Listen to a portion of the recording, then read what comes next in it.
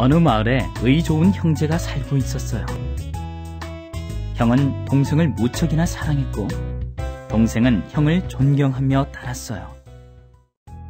어느 날, 형제가 함께 신양물 다리를 건널 때였어요. 형님, 저기 물속을 보세요. 뭐가 번쩍거리잖아요? 글쎄, 저게 뭘까? 잠깐 기다리세요. 제가 가져올 테니.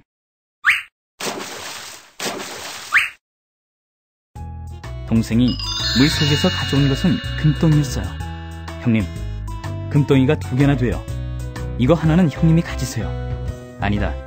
네가 주운 거니 모두 네가 가져라. 아니에요. 한 덩이는 형님이 가지셔야 돼요. 의좋은 형과 동생은 금덩이 하나씩을 나눠 가졌어요. 형제는 이번에는 강에서 배를 타게 되었어요. 그런데 갑자기 동생이 금덩이를 꺼내 강물로 내던지지 뭐예요? 아니 동생아, 그 아까운 걸 왜 물속에 버리는 거냐? 형이 묻자 동생이 대답했어요. 형님, 저는 평소에 형님을 존경하고 따랐어요. 그런데 오늘 금덩이를 하나씩 나누어 갖고 보니 엉뚱한 생각이 들지 뭐예요?